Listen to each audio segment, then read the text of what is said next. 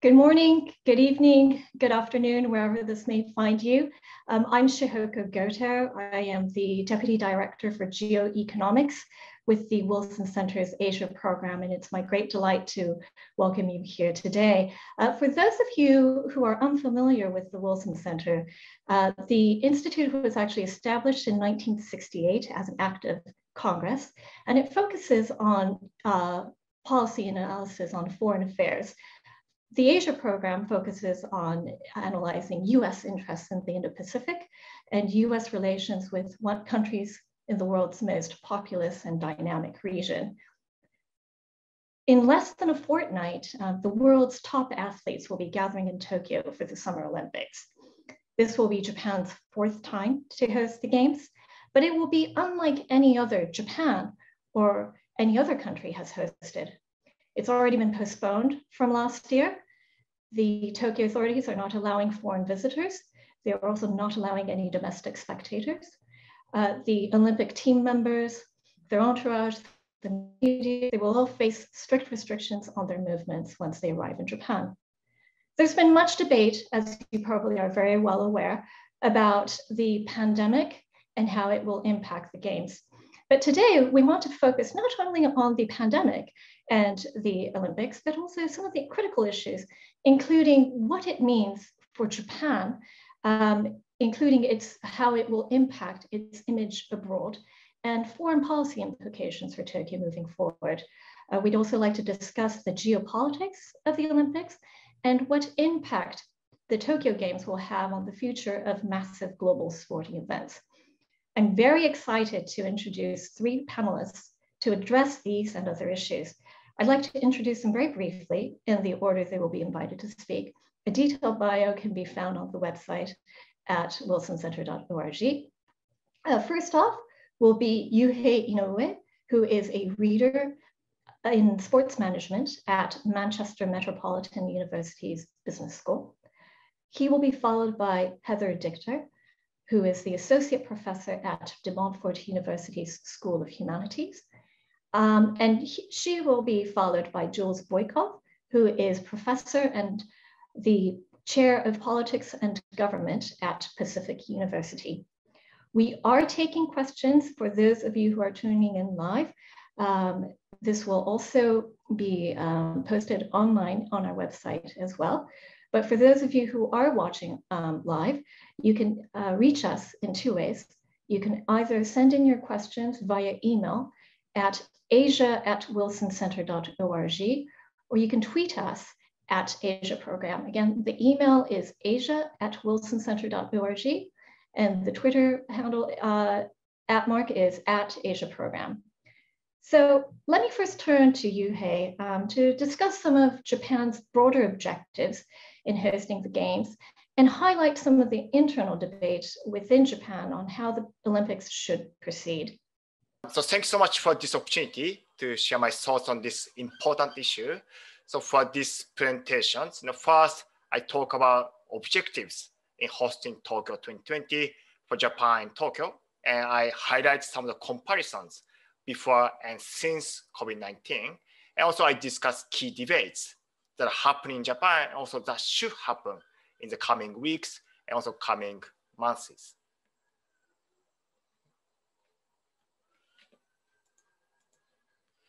So in terms of the objectives, before COVID-19, Japan hoped to achieve the four different main objectives. The first objective is to make a significant contribution to economic and tourism development. For example, a pre-pandemic study commissioned by the Tokyo government projected an economic impact of nearly 300 billion US dollars. And based on my opinion, this was probably the most important objectives for local residents and also well, the general public in Japan. And the second objective was to showcase Japan's capability of hosting a mega events such as Olympic and Paralympic Games, and also showing hospitality for foreign tourists. And also athletes compete as a game, and government, corporate, and sports officials across the world. so that they have a positive impression of the country and then they speak positively about Japan after the games.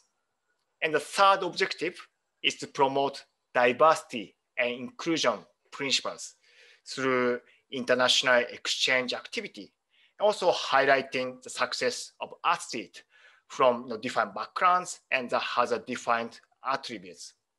And this is particularly important for Japan because Japan is, is traditionally a homogeneous country, but they really need to embrace a more diverse population in the coming years because of uh, more of the uh, aging population and also population shrinking. So they hope that they want to uh, be more open up the country to a more diverse um, and inclusive population.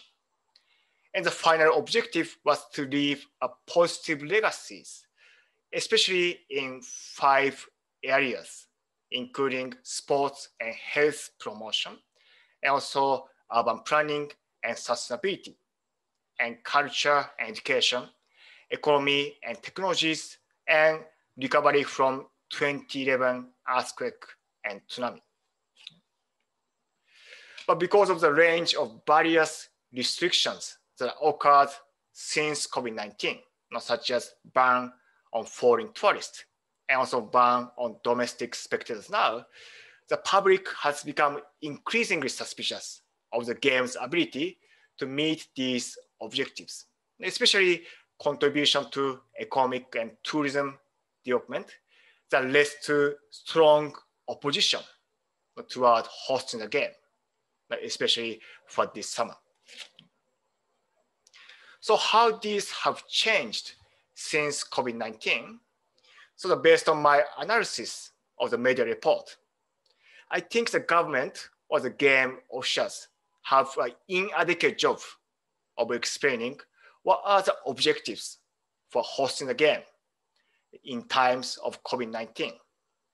The primary objective, a primary reason that they highlighted is that Japan has an obligation to host the game because of a host city contract with IOC.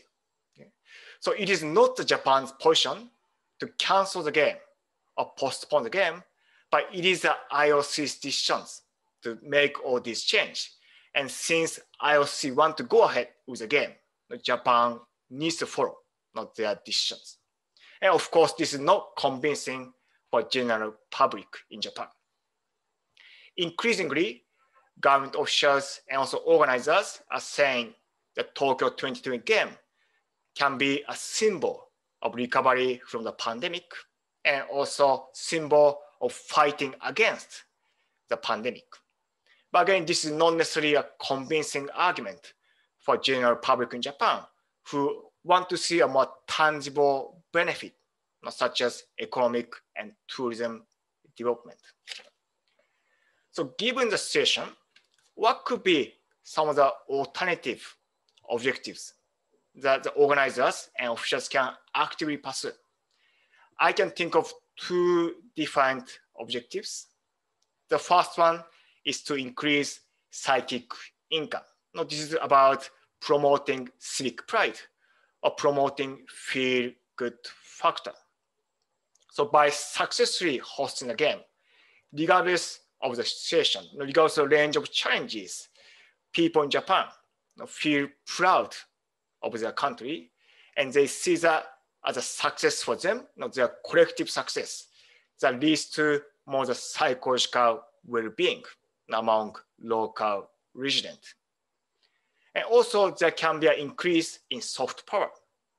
So again, success hosting can enhance Japan's reputation and external image that can attract investment by foreign countries, you know, foreign company, foreign companies in the coming years, and also that can increase intention among foreigners to visit Japan once the pandemic is over.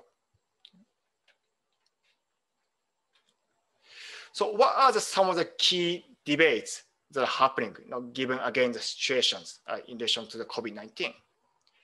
So what has been discussed? So even though the game is approaching, you know, it's gonna be held in nine days.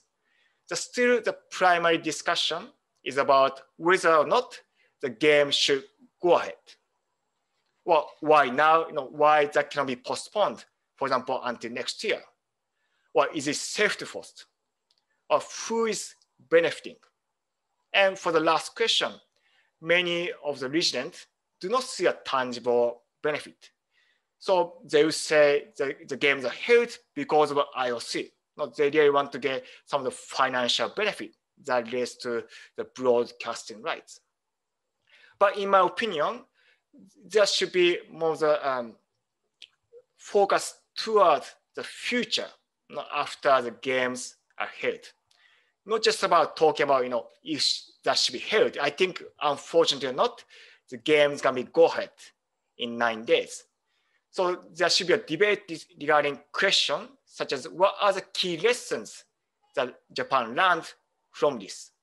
COVID-19 and preparation for Olympic Games exposed many of the issues and challenges that are facing Japan, such as ineffective leadership, lack of coordination across different sectors in Japan, and also lack of clear and transparent communication from the government. So Japan's are able to learn you know, lessons from this and can improve the country for the future. And also another important question is how can legacies, you know, both positive and negative legacies can be managed to advance the country. Not so consider legacies outcome, you know, such as facilities, infrastructure, knowledge, reputation, no more the financial deficit, and also potential increase in the COVID cases. And how can these be managed so that a country can have a brighter future after the conclusion of the games? So thanks so much. Uh, I know, you know there's going to be a Q&A session, and I'm happy to answer questions later. But also, please feel free to uh, send your questions to me after the symposium. Then I'm happy to answer your questions as well. So thanks so much. Thank you very much, Yuhei, uh, for that very succinct um, analysis of where we stand and also what we should be looking out for and what kind of debate the Japanese government uh, should be having uh, moving forward. So with that, um, I know you've left a lot for us to, to chew on, but let me turn now to Heather. Thank you so much for inviting me to be part of this uh, panel today. Um, so in thinking about the, the geopolitics of, of hosting the Olympic Games, you know, especially now that Tokyo is less than a year before the 2022 Winter Olympics in Beijing, um, you know, it's important to go back and look at kind of the, the original bids for these Olympics in Asia and, and the way that these games were, were framed. Um, you know, particularly now with the closeness of Tokyo and Beijing to each other and debates happening and, and have been happening for um, several months now about um, whether the, the ethics over Beijing hosting, other issues happening within um, China, and potential diplomatic boycotts from various Western states um, of, of Beijing 2022.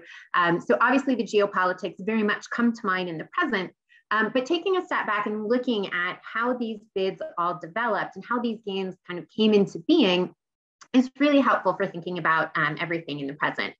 So obviously with the Olympic Games being two years apart from each other, those bids each developed separately and, and offset from each other. Um, however, in thinking about this six year arc of the Olympics in, in Asia, um, Pyeongchang bid three consecutive times for the Winter Olympics, ultimately winning the 2018 Games, and Tokyo bid for both 2016 and 2020. So there was an overlap of bidding even with their initial unsuccessful bids.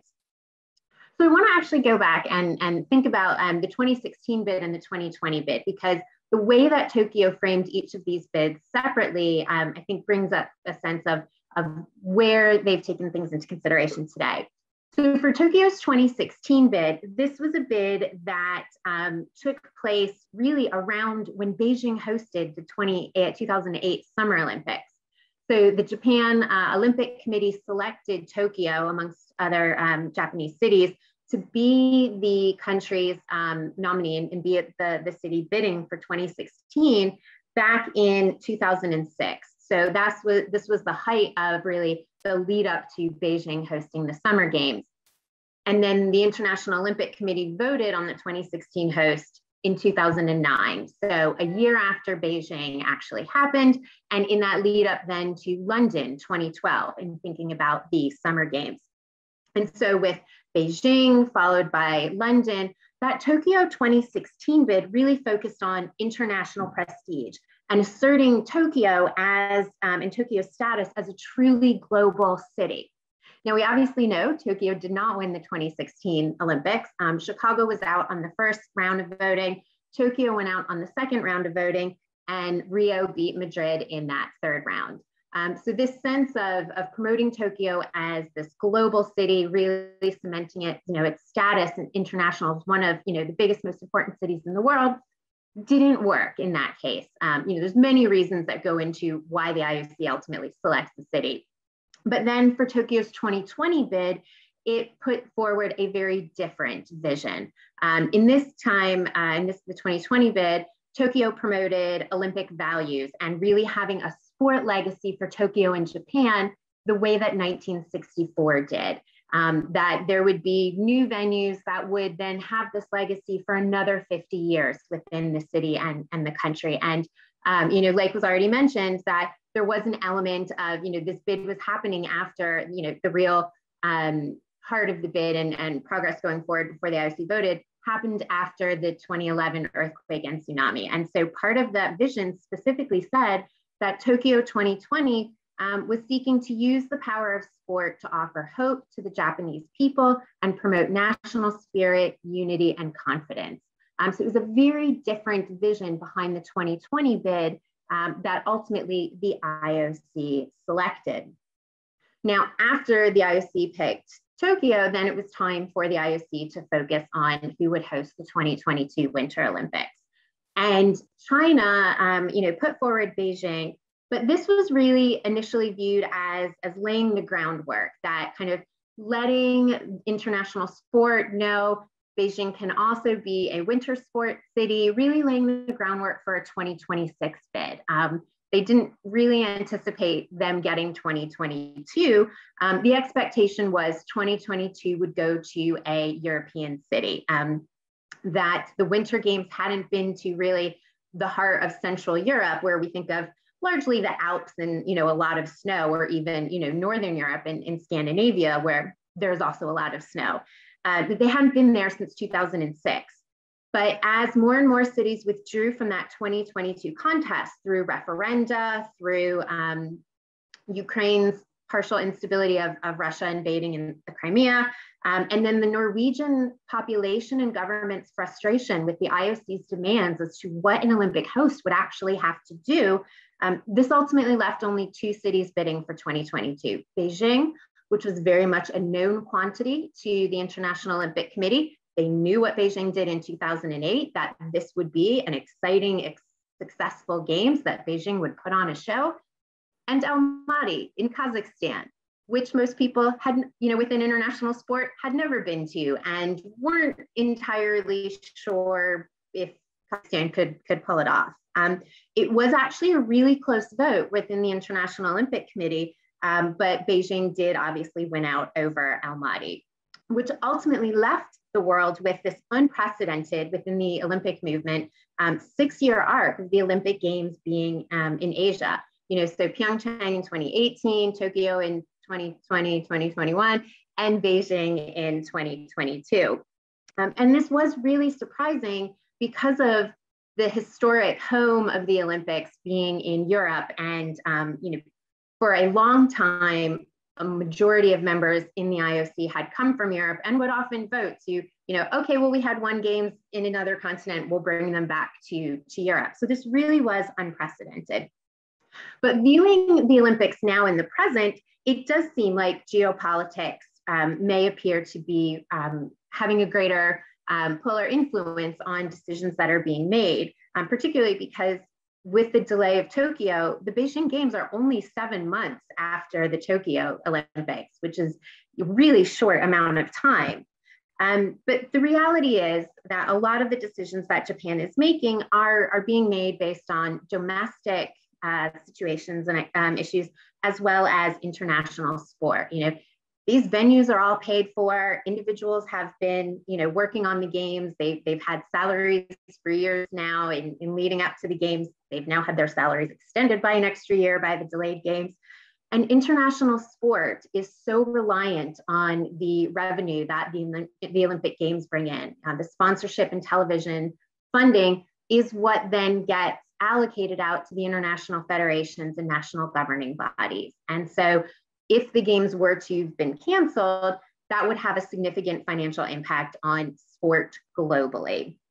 Um, and so, you know, the, the other element where I think is not entirely geopolitics, but there will be an impact from however the next couple weeks play out in Tokyo with not only the Olympic Games, but then the Paralympic Games, you know, will have a, an impact on, on Beijing because it is such a close um, following Olympic Games. You know, ticketing for the Beijing Olympics hasn't yet happened. And normally um, that would have happened in the fall, right after the summer games. But we are now you know, seven months out, Beijing has not put forward ticketing, and it's unclear whether international spectators will be allowed to purchase tickets and attend the Beijing Olympics. So, on the whole, um, you know, a lot of Tokyo's decisions and actions are being made, think, less with the current geopolitics and more with their own domestic considerations and considerations of international sport. Thank you so much, um, Heather, for that very um, solid analysis of the bidding process and the challenges not just uh, Tokyo will be facing, but also Beijing as well. So let me turn to Jules. Um, before you, um, you speak, I just want to remind our viewers that we are taking questions.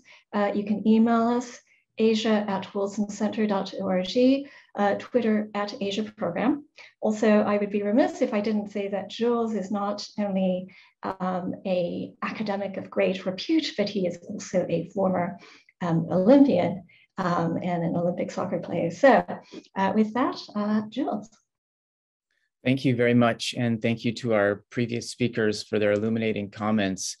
I want to just start by bringing us back, as our previous speakers did, to 2013 when Tokyo was handed the 2020 Olympics by the International Olympic Committee. And at that time, the surgeon and Belgian Count Jacques Rogge, who was at the time the president of the International Olympic Committee, he called Tokyo a quote, safe pair of hands. And since that moment, that safe pair of hands has essentially bobbled the Olympic torch. And I think it's even safe to say that really from the beginning, the Tokyo Olympics has been a cascade of calamities. It has been erased partly by the fact that we've been so focused, and rightly so, on the COVID situation and how that affects the Olympics.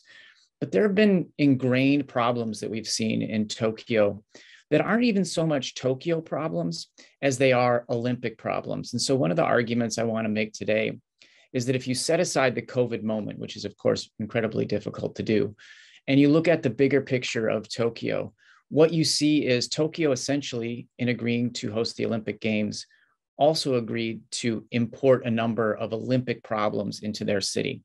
And when I say the city agreed to host the Games, let me be a little bit more specific we're talking about the political and economic elites of a city.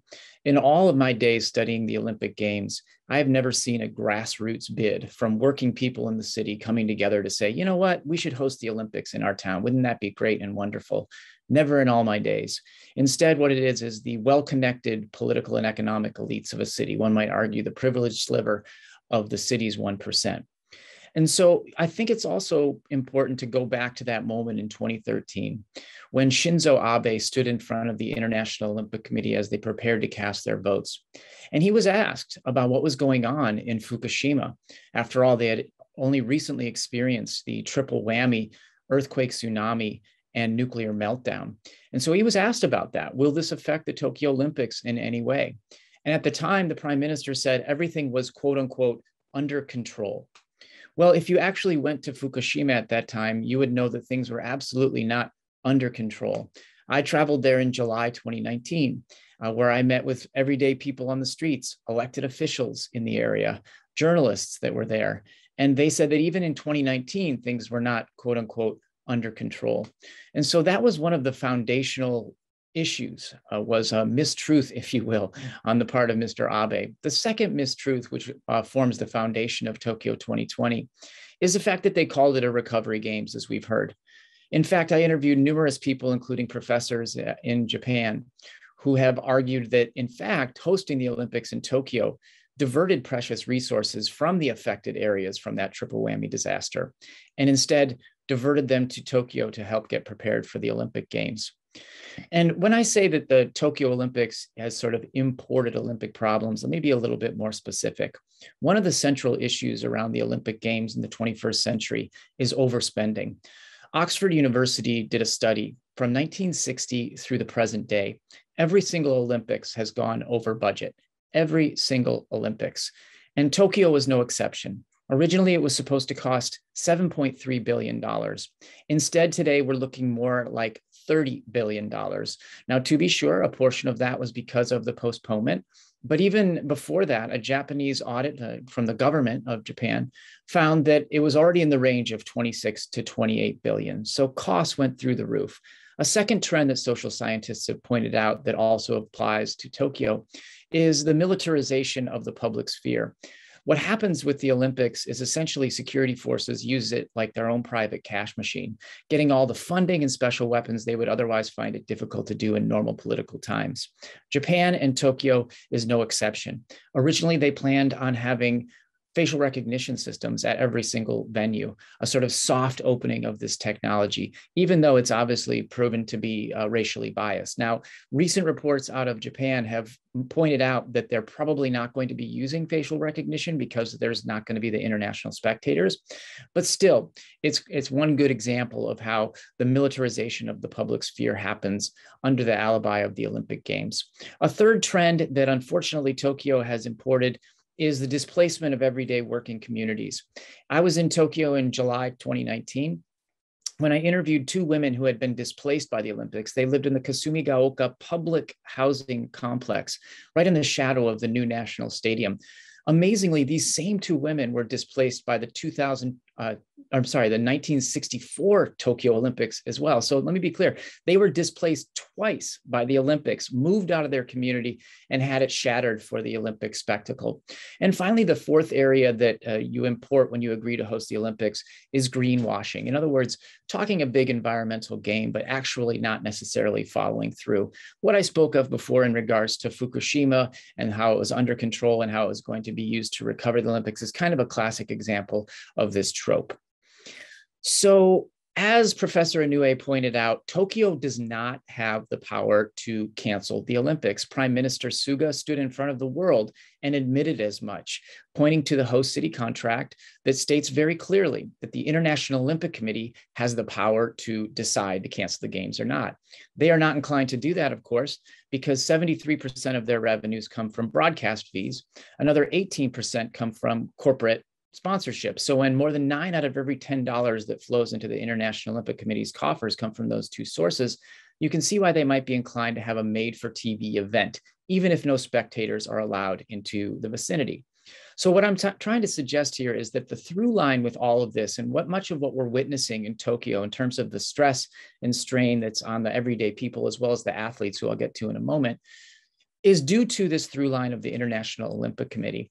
And, and to be honest, just acting in their own self-interest, taking a gamble in this interest, in this case, uh, with global public health. It should be said that medical officials across the world and inside of Japan have long been clamoring for these Olympics to be canceled. In fact, a study in the New England Journal of Medicine found that the preparations by the International Olympic Committee for Tokyo 2020 do not meet best scientific practices. And yet, the IOC, the International Olympic Committee, says the Games must go on polling is not looking very good in terms of global support for these Olympics. Ipsos recently released a poll that found that globally 57% of the world thinks it's a really bad idea to host the olympics places where it was the most high in terms of people that oppose staging the games are south korea and actually japan itself at 78% in this particular poll The United States, where I come from here, was uh, hovering below 50% in terms of the opposition to holding the games this summer. But the bottom line is, we really haven't seen anything like this in the political history of the Olympics, where you have all these people around the world saying it's a bad idea to host the games. One last thought in regards to the athletes who I mentioned. This entire process has put a ton of stress and strain on them. And many of them are already uh, finding it difficult to realize their Olympic dreams. After all, uh, there was a study that came out of Ryerson University in Canada recently that compared the amount of money that Olympians receive in comparison to athletes from other stud, uh, other uh, sports. So, for example, they compared Olympians to the National Football League, the National Basketball Association, the National Hockey League, Major League Baseball, and the English Premier League of soccer, football in England. And what they found is with those other leagues, athletes took in about 45 to 60% of the revenues from those sports and those leagues 45 to 60% with olympians their direct revenues are only 4.1% and that's why you're seeing right now a number of athlete groups rising up and organizing. You're seeing it in track and field. You're seeing it in swimming. You're seeing it in Olympians from across the world in this group called Global Athlete.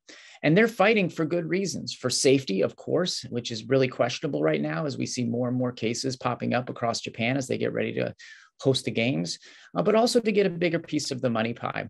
So these are the kind of struggles that we're going to see going forward.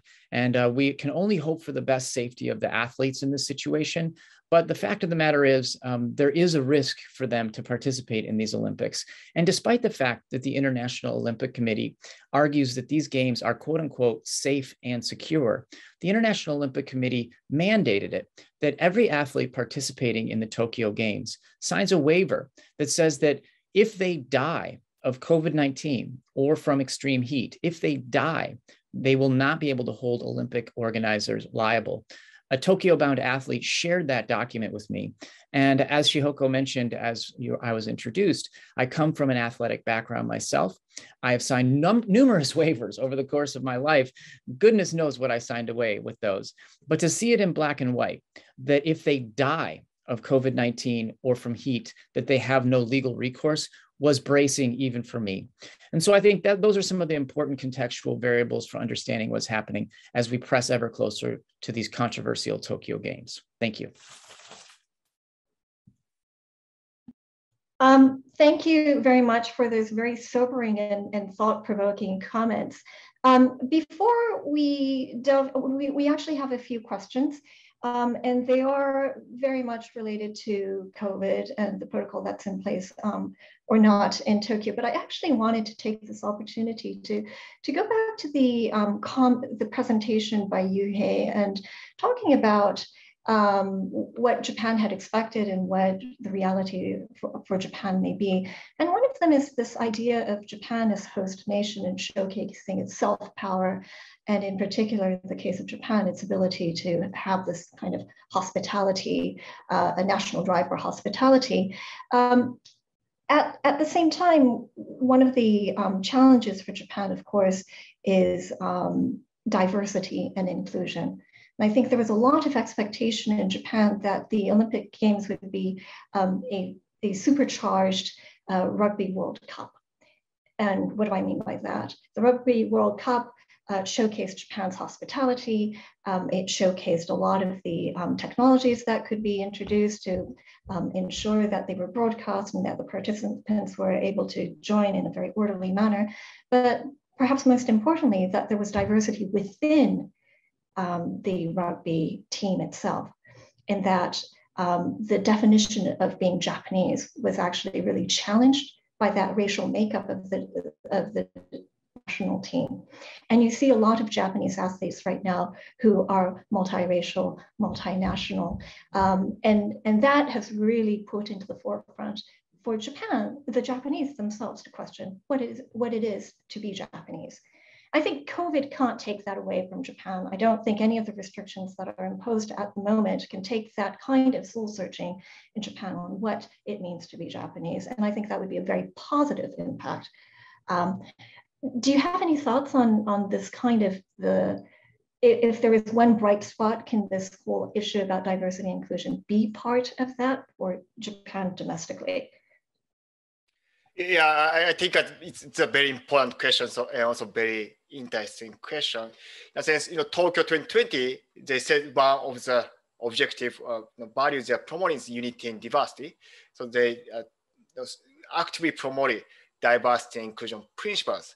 But what happened to, uh, you know, for example, uh, Mr. Yoshiro Mori, who was a former president of the Tokyo 2020 organizing committees, and he made remark about uh, you know, female in Japan and such, and essentially even the president uh, who engaged in this process uh, didn't value diversity and inclusion principles and how the rest of people can change.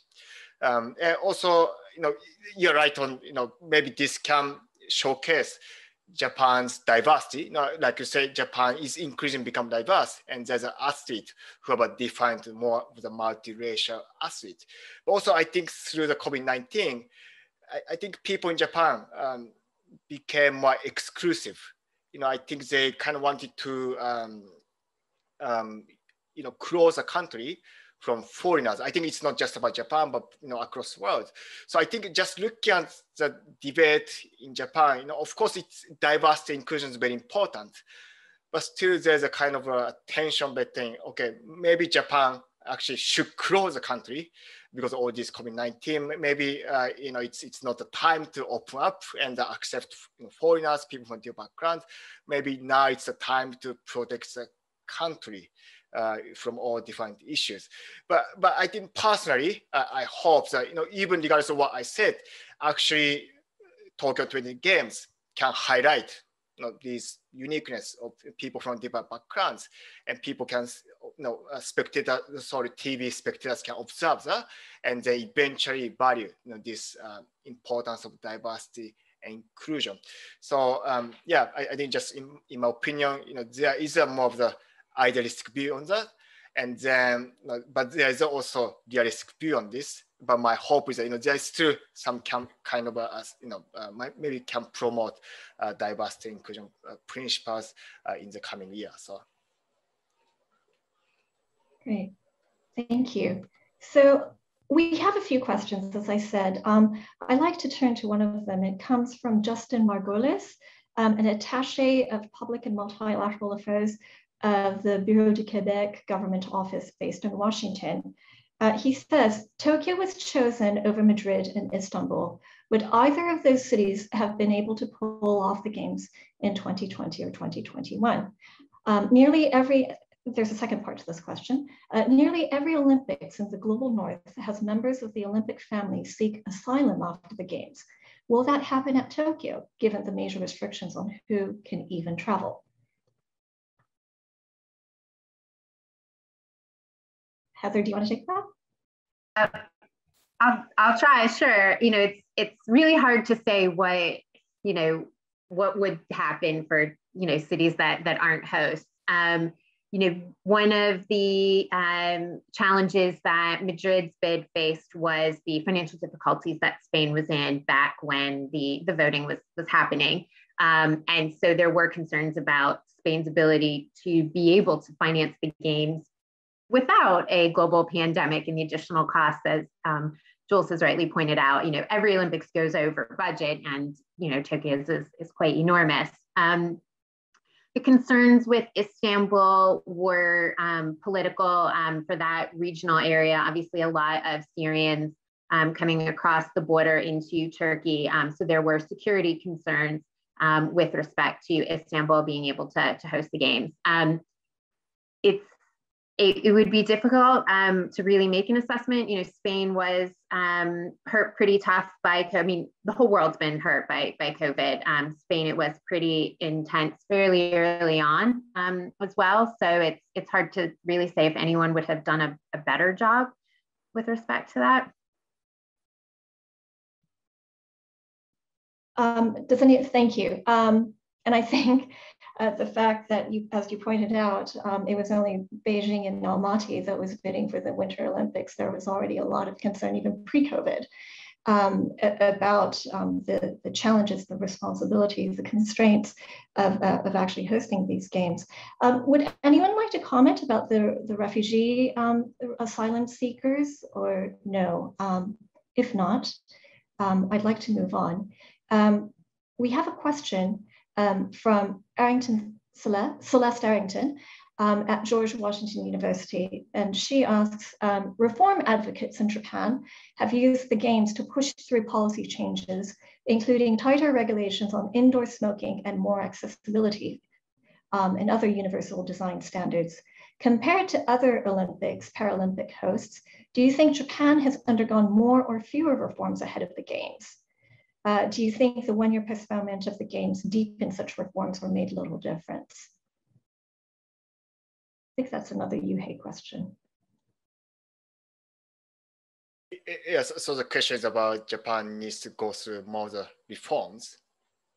Uh, yeah, yeah. Um, no, I, I, it's kind of difficult to compare to other Olympic games, but um, I, I think in, we can talk about kind of about, you know two different things. Um, again, Japan in terms of infrastructure, they put much effort on, for example, having accessible facilities. And you know, I, I visited Japan right before COVID-19 in 2019. And I actually was amazed about you know, how Japan actually transformed. You know, Tokyo um, seems to be more uh, accessible. You know, there are newer um, infrastructure and such. So I think in terms of infrastructure, I think you know, there has been a lot of investment in it, and Japan has done a good job. But then there's also another aspect of attitude. You know, uh, Japanese people uh, open to people who has a you know um, for example disabilities, uh, you know, person with disabilities. I think this more about attitude toward people who have a different attributes.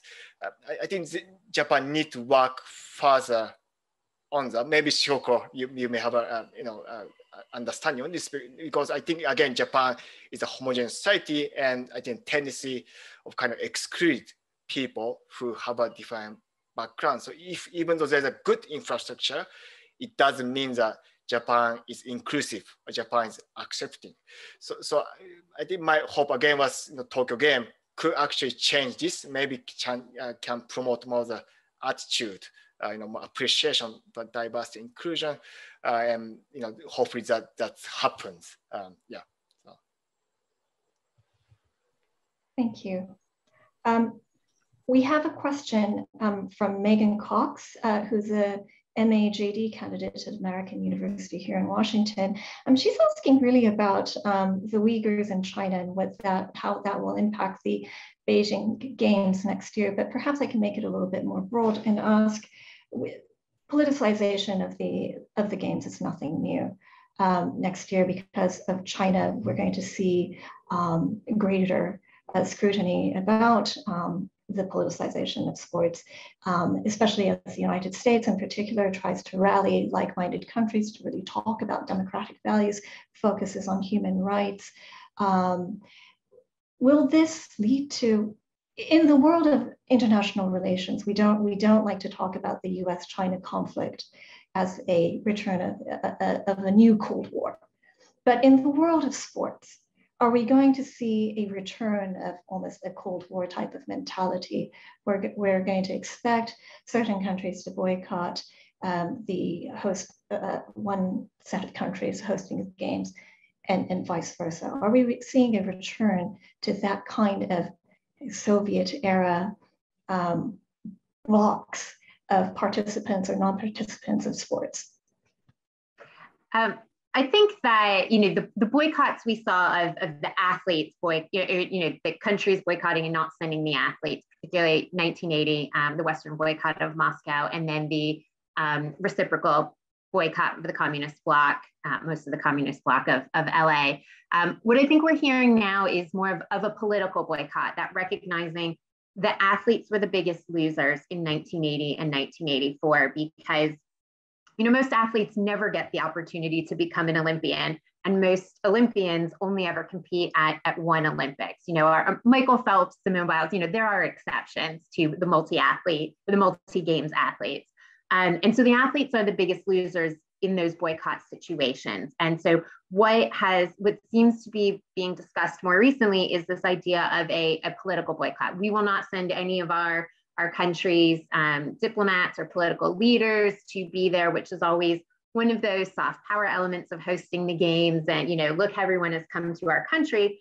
Um, we saw a little bit of that in 2018 with Russia hosting the World Cup, um, following the poisoning um, on British soil of um, a former Russian citizen. Uh, you know, choosing to live in the UK. Um, you know, the UK chose not to send any um, politicians to the, the World Cup. Obviously, the US never qualified in 2018, so never had to make a decision in that respect. But with the Olympics being, you know, every country, then there's obviously more of those decisions to be made. So I don't necessarily think it might it will become as great of a divide is 80 and 84. We're seeing a bit more politically, not athlete wise, but you know, a lot of people have felt that since the Cold War with the Soviet Union and the West ended, that it has become a US China Cold War in terms of just the athlete competition, you know, and, and who's going to win more medals and, and be better in certain sports than the other.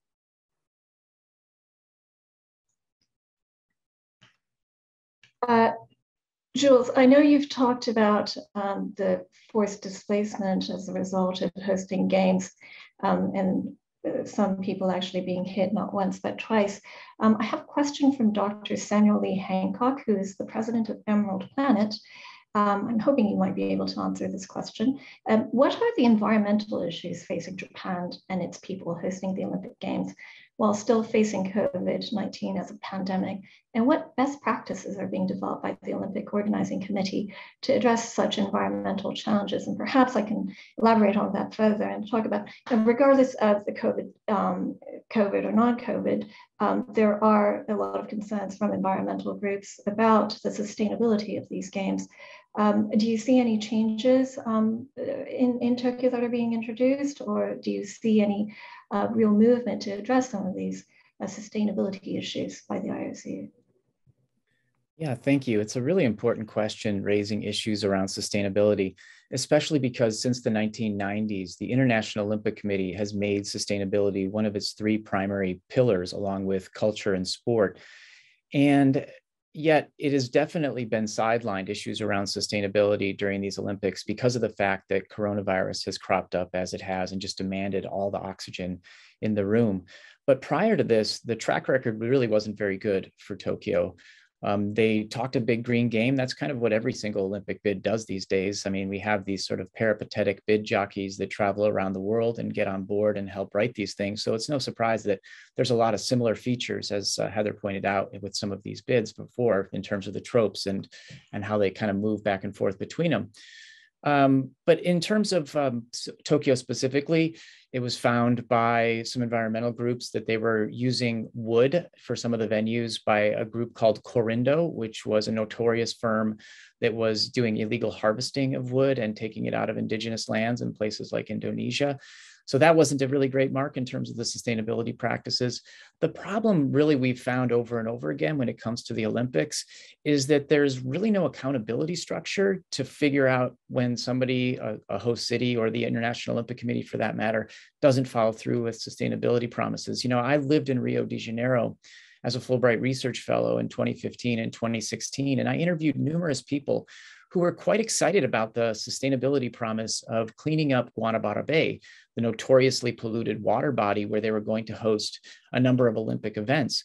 According to the plans, the sustainability plans of the Olympic organizers, some 80% of the water that flowed into Guanabara Bay was going to be treated by Olympics time. And the Olympics were supposed to be this galvanizing force to make that happen. In reality, it didn't happen. By the time the Olympics rolled around in the neighborhood of 25% instead of 80% of the water was being treated. And so I guess what I'm trying to suggest is again, even if Tokyo doesn't follow through on its promises with sustainability because coronavirus came up, even if Tokyo uses wood that's illegally sourced from different places around the world, uh, they're really, it's not necessarily so much a Tokyo problem as it is an Olympic problem. I'm certainly not trying to let the people in Tokyo off the hook, but what I'm suggesting is this is almost like a time worn tradition, greenwashing. And that's why I pointed to that as one of the four main critiques that social scientists have raised. And I think it also fits with some of the conversations we're having around why fewer and fewer cities are, are game to host the Olympic Games, is because these issues have been raised to the surface and big questions have been asked about sustainability. And so I think that's kind of where we're at right now. Great, thank you so much. And that really brings me to the question posed by Tom Goldman, who is an NPR sports correspondent. And he asks, can there be such a thing as a good Olympics at this point, devoid of all the pitfalls you mentioned, including cost overruns, displacement of locals, low wages for athletes? And what would that look like? Um, maybe I can do from my Zoom square, uh, left to right, Heather, Yuhei, and then Jules. Wow, what a tough question. Um, what a good Olympics would look like. I, you know, um, magically in a city where every venue already exists and you don't have to upgrade, build new, you know, that's always a problem. You know, how many places have a velodrome and, uh, you know, appropriate rowing and kayak canoe venue nearby um, and sailing as well. Um, and that's not even taking into account winter olympics which uh, you know a sliding track there's you know only you know a handful of them in, in the world. Um, so i think as a start you'd have to have a city that had venues existing that you know the ioc has more recent very recently um, changed its tune from you know wanting every venue brand new opened you know basically for the games that they're now willing like okay in this sustainability effort you know revamp some venues. Um, but if you if you had a city that had all of those to begin with that would be a start. Um, it obviously doesn't get to the athletes um, not being supported financially um, because that is a big issue. And even you know there's a number of other athlete groups um, in addition to the ones jules had mentioned that you know the, the athletes really do struggle. And um, you know there's there's not an easy solution. So i don't know Um, before I turn to Yuhei and then to Jules, um, I, I, was just thinking perhaps the best way to do this is to just bring the games back to its origins and simply have them in Greece and then have them, you know, you have that facility, you don't need to rebuild things, but I have a feeling that that is not commercially viable. So um, with that, Yuhei, what makes a good Olympics? yeah, yeah. To me, you know, I focus mostly on the local resident, the local people. So from that perspective, I, I think good Olympics simply is about you know that can make local people happier. You know, they can feel belong to the country. Also, you know, they, they can make connections with athletes from all, all over the world. Again, they can feel like oh, okay, you know, they are actually living in a better society by hosting the Olympic Games. So I, I think focus on well-being or happiness of the local region. You know, that kind of satisfy the definition of the good Olympics. Jules.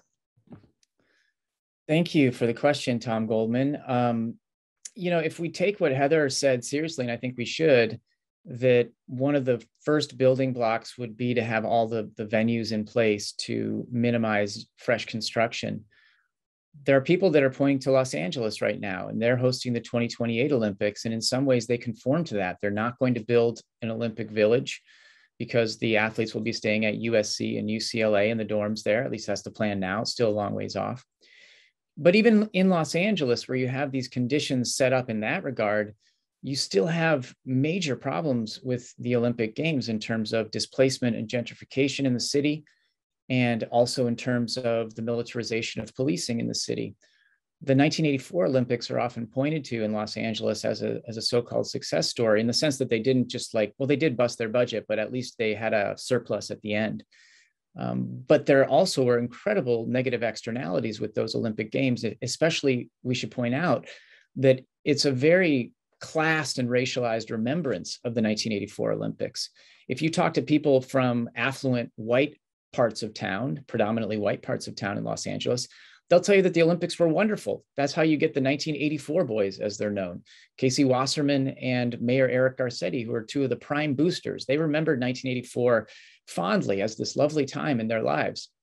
But you go to other communities, you go to Watts, you go to South Central Los Angeles, you go to other parts in the eastern part of Los Angeles, you talk to people of color, they have a very different remembrance of that. Poor people have a very different remembrance of the Los Angeles Olympics. And those are often held up as like the best example we have. And so I think right now, the question of can we have an actually sustainable Olympics where you have people traveling from all around the world in their jets and so on uh, is a really difficult challenge, especially in this moment when the games have become so gigantic, what scholars refer to as gigantism around the Olympics. You know, more than 11,000 athletes will be in Tokyo for the summer games. In regards to, I think it's a very difficult call to, to have that kind of um, happy day in the sun Olympics that, that I think a lot of people crave because the games are so big. In regards to setting them in Greece, I had the good fortune of debating recently one on one the longest serving member of the International Olympic Committee, a guy named Richard Pound. And this issue of whether to locate the games permanently in Greece came up. And this guy, as I said, is the longest serving member. He's also one of the very few members of the International Olympic Committee who will actually tell you what he thinks and doesn't live in fear of the current president, Thomas Bach. And when this came up, he was like, it was just a no non-starter. It was just not happening. Like the International Olympic Committee, who would be in charge of moving the Olympics to one location, has zero interest in doing it. Uh, for them, apparently, according if I'm gleaning it correctly from the words he said in our debate, um, it just he wants to spread the Olympic gospel all around the world, and that's the way it's going to be. There's also the question of whether the people of Athens actually want the Olympics. If we go back to 2004, the Athens Games left a herd of white elephants in their wakes, uh, stadiums that are sitting in disrepair and totally unused, weeds growing in the softball stadium, fountains that are just sitting there unused because they were so expensive to maintain. So I think there's an open question as to whether the folks in Greece themselves would be super keen to have the Olympics after their last experience in 2004. Thank, thank you for that. Um, let me turn back to you, Hey, about how we gauge the success of the Tokyo Games. Um, you say you're focused, as you said, on um, society and the reaction of society to sports. Um, would there be a difference in how the uh, the Suga administration's uh, perception of success of the Olympic Games would that differ from what the people would see as success of the games? So, if I were Prime Minister Suga, I would say that if the COVID spread remains at a minimum, they're able to host the games. Uh, they, they clear all the obligations um, that were you know, required of them, um, making all the events happen, uh, all the athletes come and go, that would be a success. And that would demonstrate that Japan was able to host this um, successfully. And I think as Japan, this Prime Minister Suga, of course, is up for election later this year.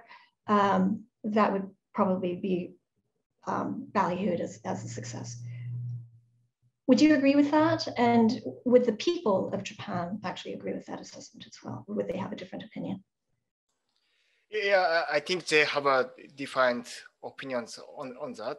Um, I think the current approach by the government is that they really want to separate Tokyo 20 games from the rest of the society, the rest of the Tokyo city, so that there won't be any infections, so, you know, or there not gonna be uh, widespread of the uh, COVID-19 cases afterwards. And then maybe Suga can claim that you know, the, the has been successful because that's a safe Olympic. But from a, a, public perspective, they want to be part of the Olympic Games. They want to feel connected. They feel like they, this is our event. They have contributed to successful you know, hosting. I, I think that, that that's important. You know, it, it's difficult to physically connect because of the bans on, on life speaking as, as such. But I think the government and also games officials should focus more on the, uh, creating a sense of belonging, uh, uh, help people feel that this is our event this is an event for the people in Japan or uh, you know general public.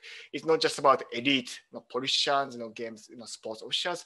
This is about our events, and then we contribute, and then success leads to you know belonging, uh, well-being, as such. So, so I, I, think the definition of success should change more toward creating connections. You know, maybe uh, creating belonging as such. Well, thank you so much for that. Um, and I know we have a few other questions, but um, I'm afraid uh, the time has come for us to end this conversation. Um, I do want to thank our speakers, um, Heather Jules for joining us today. I also want to thank my colleagues um, in the Asia program, uh, Mary Ratliff and our summer intern, Sydney Yu, um, for helping organize this event. I also want to thank my colleagues in the Wilson Center's AV team, uh, Sharona and Trion, uh, for doing this. Um, the games are on. Uh, it's happening nine days from now. Um, and I know that there will be a lot to uh, chew over, um, but hopefully it will um, be a good sporting event as well. So um, with that, thank you so much for joining us and I hope you will uh, tune in again soon. Thanks. Bye-bye.